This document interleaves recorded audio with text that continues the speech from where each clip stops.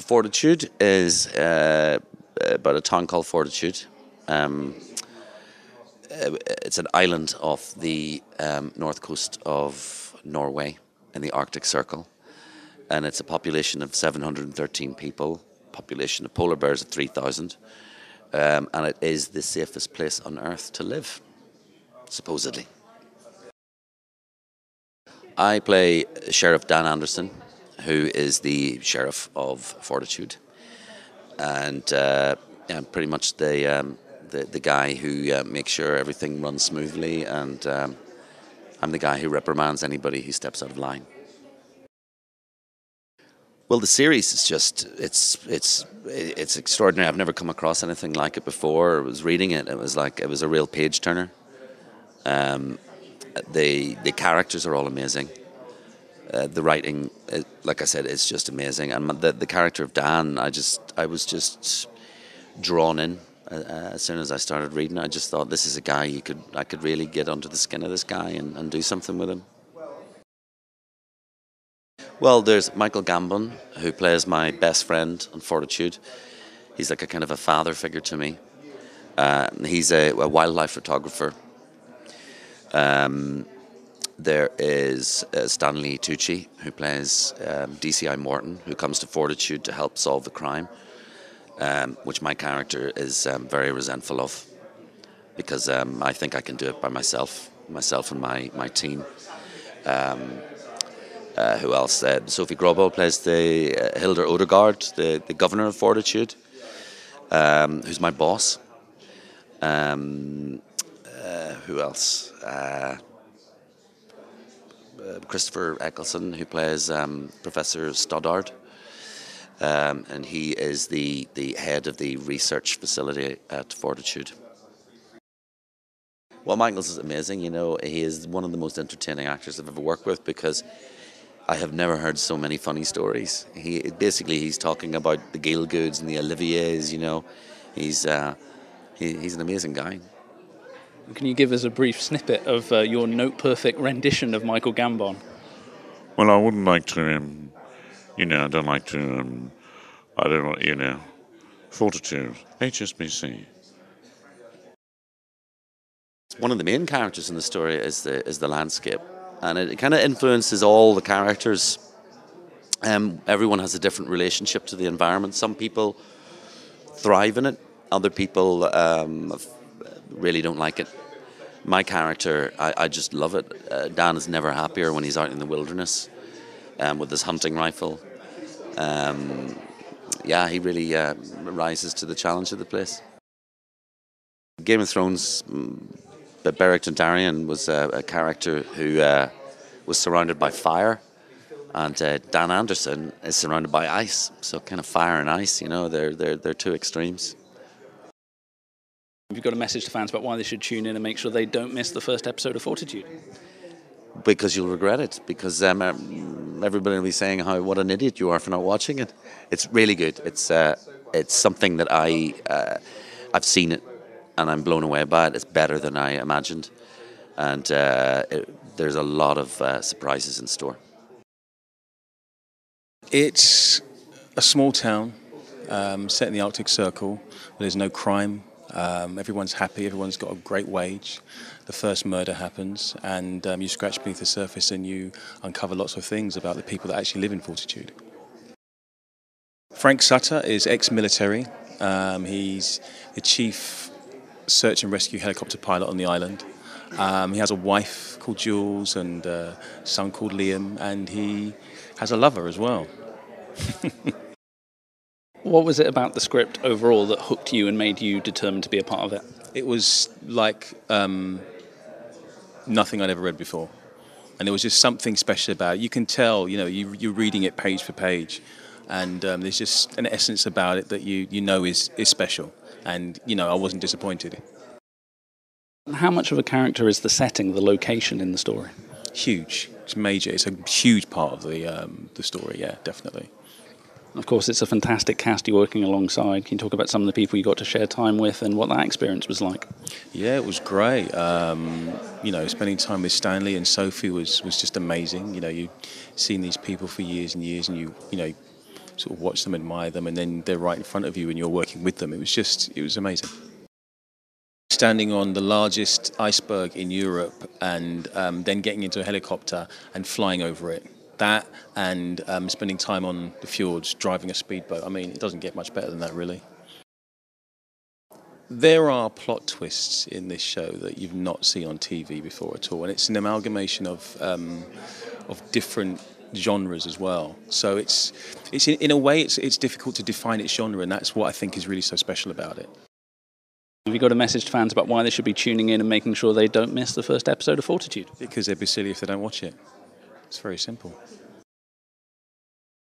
Set in a in a very small mining town in uh, an archipelago called Svalbard, which is off the north coast of Norway. It's that's our sort of fictionalized um, place for Fortitude.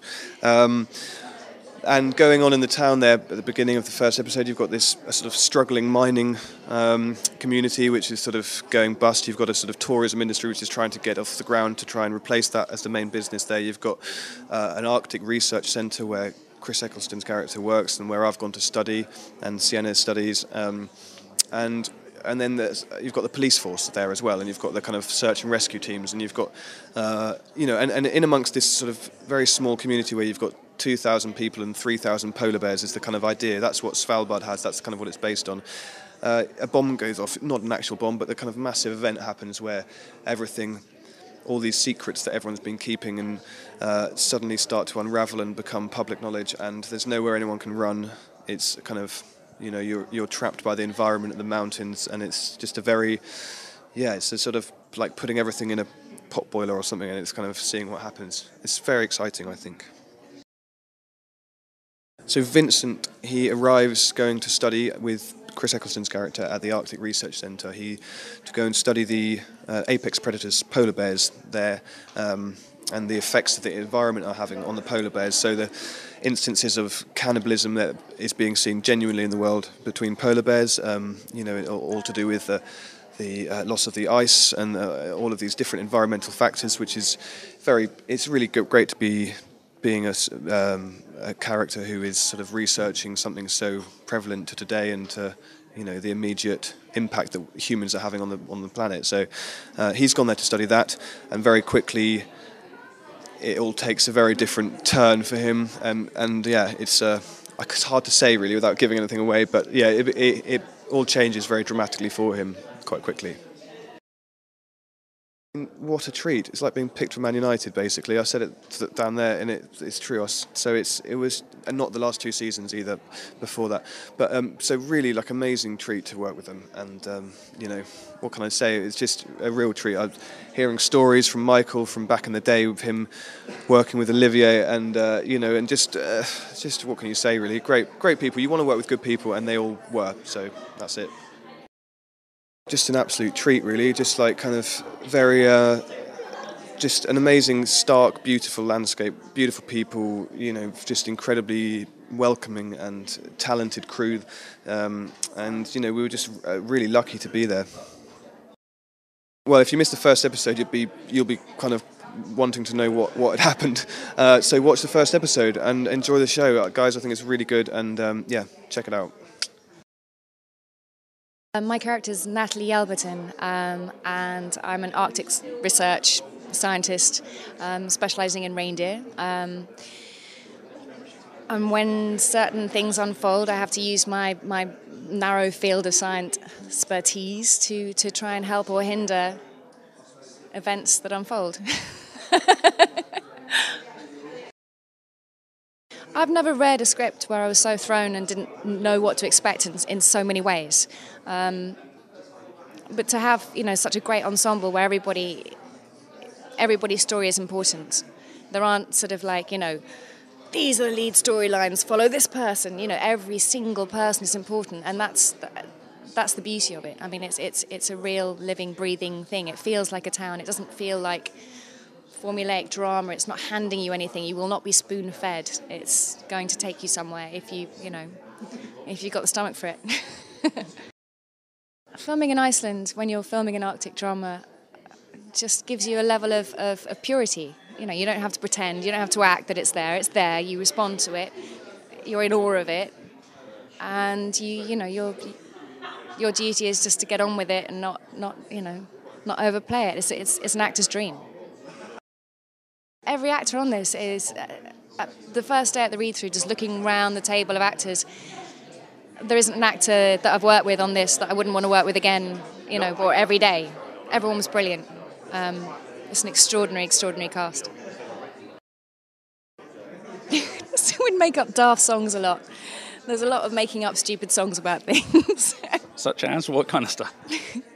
I might have to get Luke here to sing it. There's one about a reindeer fetus, but maybe I won't go into that. I don't think I don't think fortitude needs to drum up people in that way. I don't think we need to reach out and go sort of watch the first one. It's really important because I think that once you get into it, if it's your thing, you'll know about it, and then you'll tell your friends, and and and I don't think it's. I mean, I.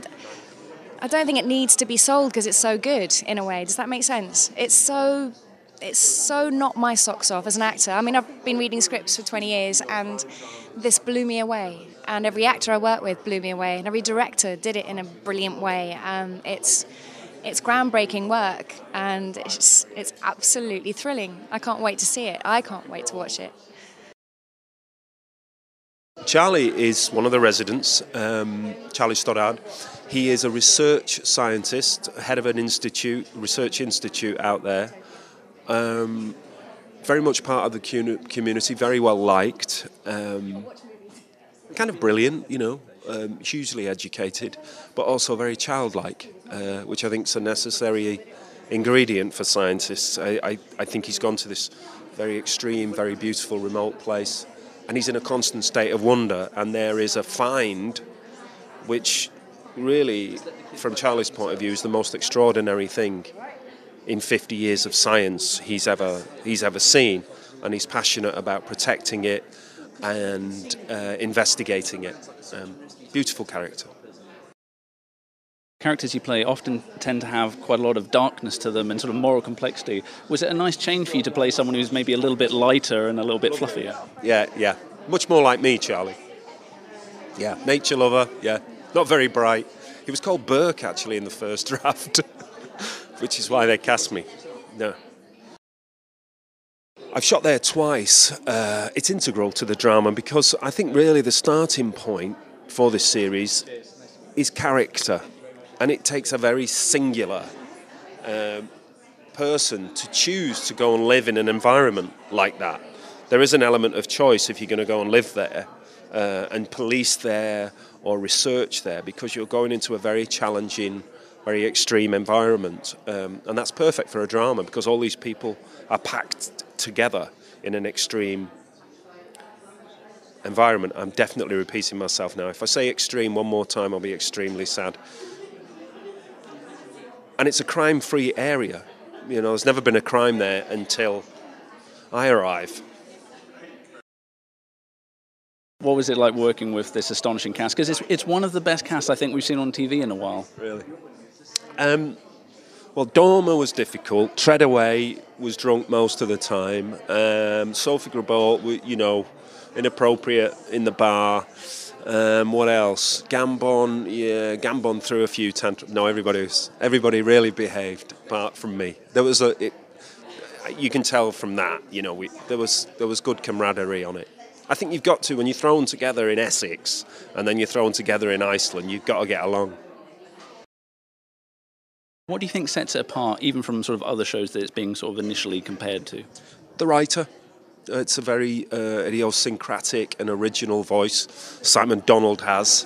Um, the presentation of all these very extreme characters in this extraordinary environment. Of course, I mean, you work in film and television. What keeps you coming back to the small screen? What do you as a performer get from that that you maybe don't from working on features? Well, television made me an actor. I really wasn't in my background to go to the theatre, and films were a treat because they were expensive, but television was always there. And I grew up in an era, the 60s, 70s, the 80s, when British television was the greatest in the world. It's not the case now. Um, British television made me an actor and has given me so much pleasure, and I've learnt so much. I love television. It's the long form novel, all the all the Oscar-winning actors now are taking our work in America, aren't they? They're all doing HBO. But I'll get them. Message for fans. My message for fans is peace and love. It's quite a self sufficient and seemingly safe community, uh, but it's in the middle of nowhere. So I always think you're always drawn to things that seem sort of self contained, and it seems to rub along quite well. And then this thing happens, and you scratch a little deeper, and you see that everyone has come here to escape something. Uh, and in doing that, they actually have to confront things about themselves because there's nowhere else. You have, you know, you're faced with yourself in a very lonely place. Um, so this incident happens, and you get to mine every single character's backstory, why they're there, um, all their foibles, you know, and I find that really interesting. On top of the actual plot, which I can't say anything about. yeah. So I don't think Jules and Frank, who is Jules Sutter's husband, I don't think they've been in Fortitude for very long. I think they came to Fortitude to save their marriage. I think it was in trouble, and it's not working out too good. Um, they have a young boy uh, called Liam, and she's a very isolated and very lonely character. And I was keen to play her because I think she's a really str- like I think she's a very strong woman. Um, and I think she's her identity has kind of been hidden behind Frank's identity for quite a while.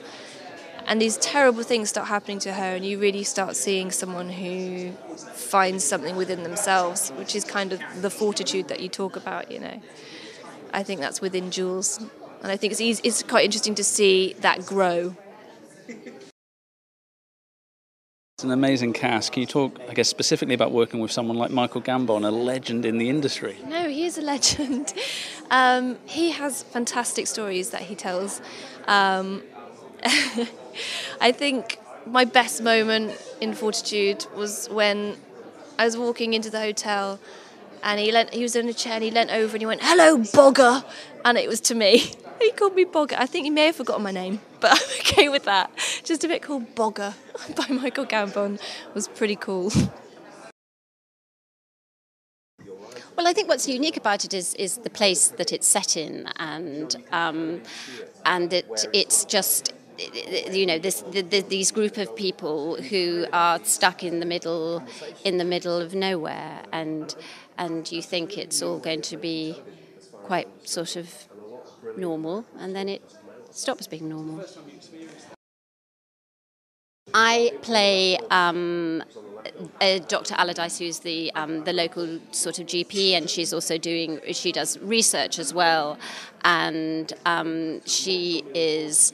She's a bit of a sociopath. She's, um, you know, she's very, very into her work. She doesn't like people very much, which is a bit of a problem if you're a GP. Um, and she, but she's she's really you know, she's interested and in what's going on, and nobody really listens to her. Well, what interested me was was working with the cast and and the story and being and being, you know, working away in in Iceland and and I quite I quite enjoy playing with somebody who is who has no grace, who has no social graces. So it, you know, it's not you're not trying to inform anything about yourself. You're just, um, you know, she's she's just she was she was just quite quite a strange person.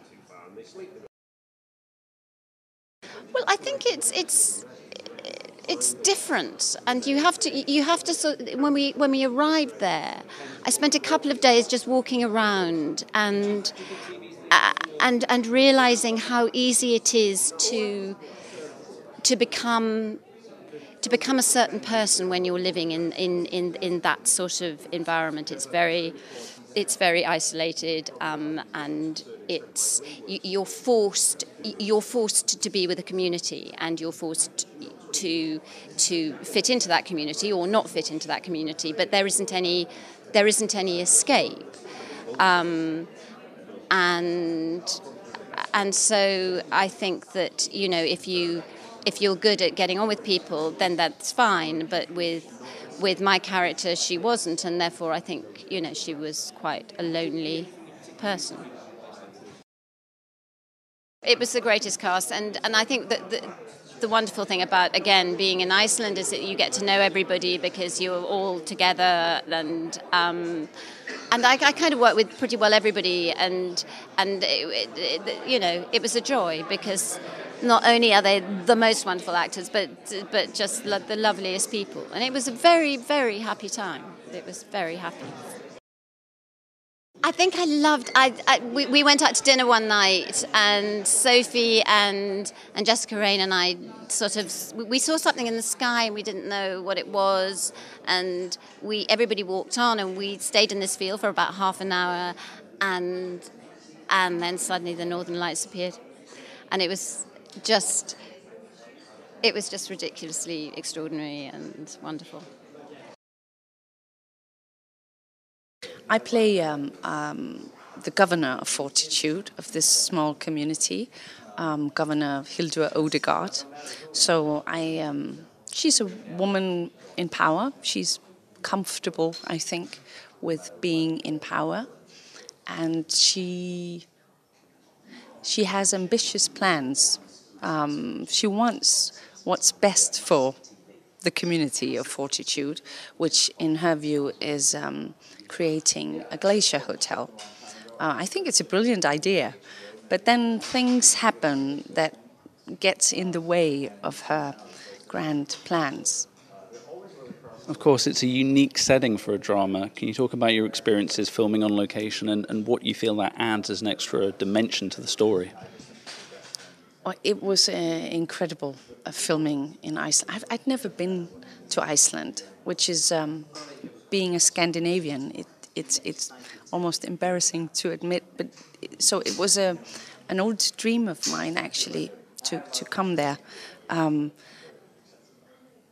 and I think it, it well, it added a lot to to um, for me to to getting the whole sense of this story because one one thing is to sit and read a script um, that takes place in the Arctic, um, and of course you can use your imagination.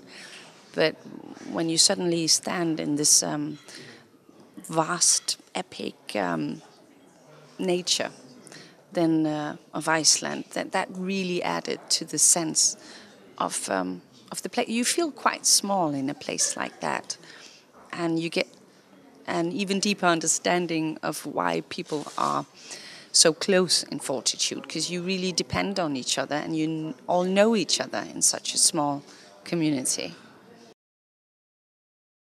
I, I got to work with so many amazing people um, on this project, um, and that was one of the reasons, that was one of the things that um, made me really want to come and do it.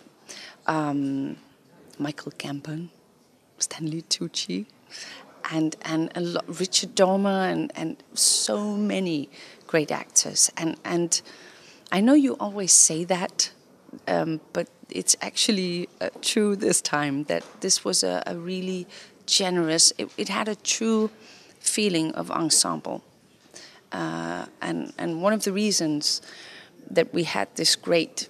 Um, um, family is too big a word, but you know, sense of group was that it was wonderful, generous people, but it was also the fact, I think, that when we went to Iceland to film, which we did three times, um, we were we were just all they put all the actors in a hotel out in the middle of nowhere, and and you you got really close really quickly. So you know every time all the people who weren't shooting because uh, we weren't shooting every day, everyone. So there'd always be someone to eat with or take walk walks with or, or go swimming with. So so we got very very close very quickly and and um, it, it, for me it was just a great great experience um, of ensemble with great actors. You're no stranger to material that deals with the darker side of human nature, and obviously this series kind of peeks behind the veneers of a lot of the characters. What do you think fascinates an audience about that and you as a performer? I think the thriller genre um, is is um, I think one of the reasons that we, we love it so much is is on one level it's it's a it's a a riddle. You you have you have a puzzle to solve. You have to find out. You know the truth of the the mystery, uh, the who done it. Um, and that's of course entertaining. But I think in good thrillers, you also it's it's just um, a way of telling about the darker side of human nature, which is basically the the the essence of all good drama.